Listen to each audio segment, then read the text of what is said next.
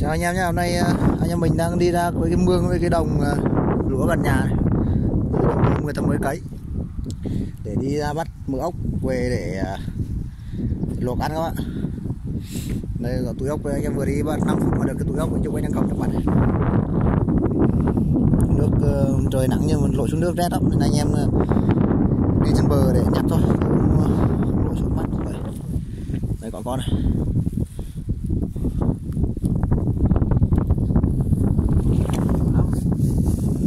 nhiều quá ốc ốc này bé này có mấy con to.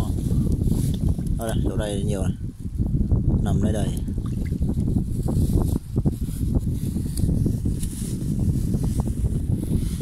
Cục tròn tròn nó nó dính ờ, rêu vào ốc nó nằm dính rêu vào đây.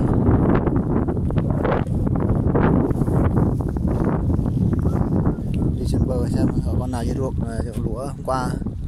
Đi lang thang thấy mấy con nằm dưới bờ hôm nay mới ra bắt các bạn Đây nằm dưới bùn bùn đấy. Nằm như này đầy. Đây.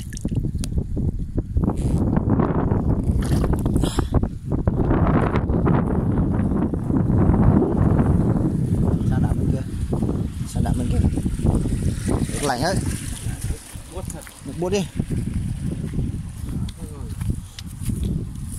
Qua lội xuống tí mà nước bút quá. Trong được lên.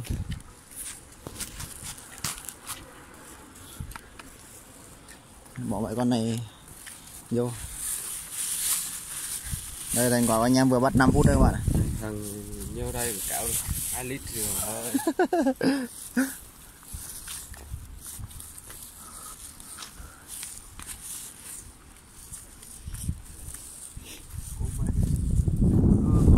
đây người ta người ta người ta bắc mạ luôn từng cõm này luôn. Người ta không bắc động to như mình. Đó, đây, đây, đây, người ta cấy máy nó xưa, khoảng cách nó xưa. Máy nó cấy xưa hơn. Đều nhưng mình cưỡi cấy tay thì chỗ đều chỗ xưa, nó không, mà chỉ có thể cấy một cây, một, hai cây một nó để nhiều. Chỗ này nước trong quá thấy con gì cả Cái đầu bờ cuối bờ cuối cái bờ ruộng sát bờ sông. Xong đi thẳng sang nó đang cái bờ kia. Có hơn này. đục quá này. Đây, có đây mà đục quá. Nằm trơ này. Chỗ muốn lội xuống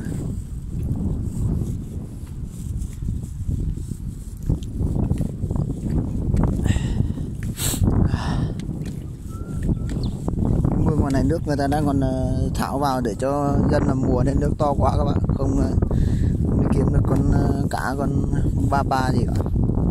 Nào người ta cậy xong rồi nước có mở cổng rồi nước nó thoát xuống. Vừa vừa tại anh em ra ngõ xem có con. Ừ, rồi rét quá nhỉ. Rồi chỉ nắng mà nước thì rét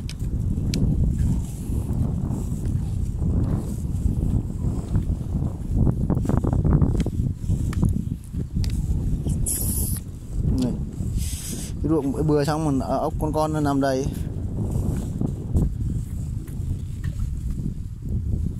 con nó to nó vẫn mắt thôi. Ờ, nhỏ còn bỏ rêu nó dịch ờ, ờ, rêu nó dịch nhung quanh, nước nó vào nó thấy phòng lên to chứ. Ốc bé quá bạn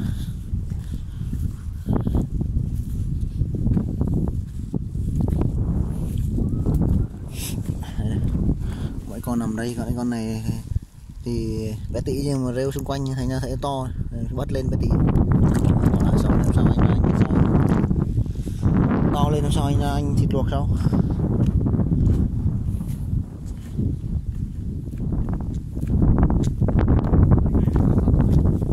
luôn rồi, bám đầy mương này. Ui rồi Nhặt luôn. Mọi người mương nước sạch này là nó không có rêu mấy lời con ốc nó nhìn chỗ này nó, nó thật hơn này. còn trong ruộng này chúng phải trồng mấy chỗ đục đục là nhìn nó có rêu ốc kỳ vẽ mà phồng lên to đùng tóm lên thấy ốc cái tí ừ. nào lúa nó tốt, tốt rồi chắc là lúa là mạ là, là, là con nhân ốc to một thấy ba mà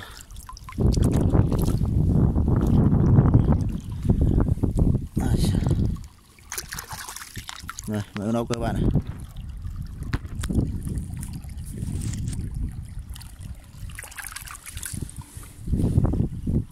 Nhiều lắm. À, Con nào vừa vừa thì bắt thôi, chứ còn bé này không bắt thì bắt thì nhiều lắm.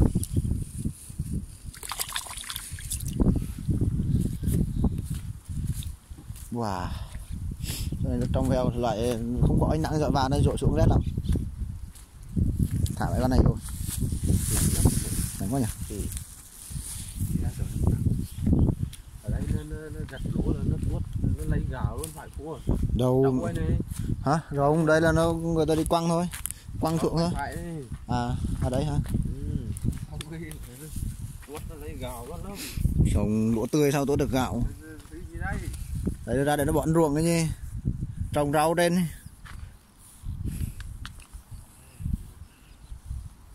Ốc nằm đầy các bạn Này Nó to phết đấy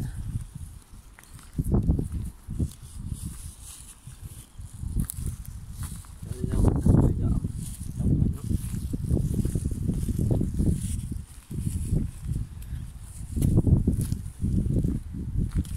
để lên cái bờ ruộng này xem có con gì không?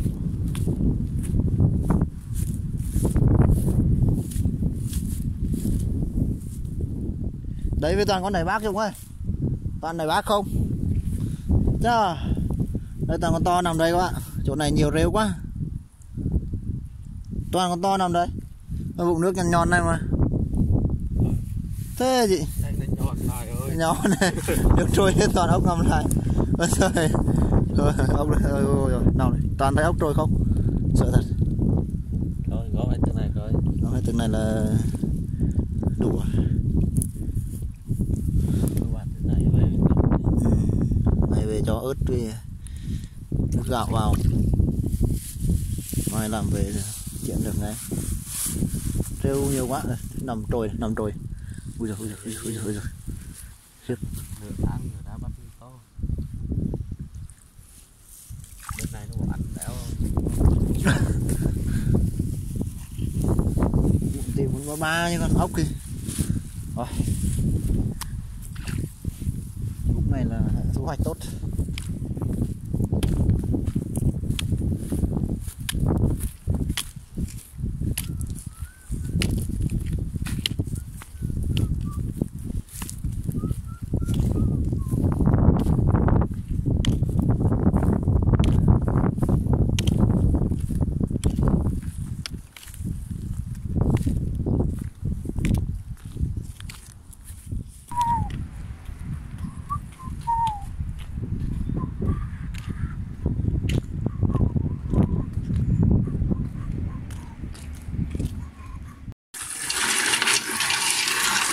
Đó nha, đây rồi.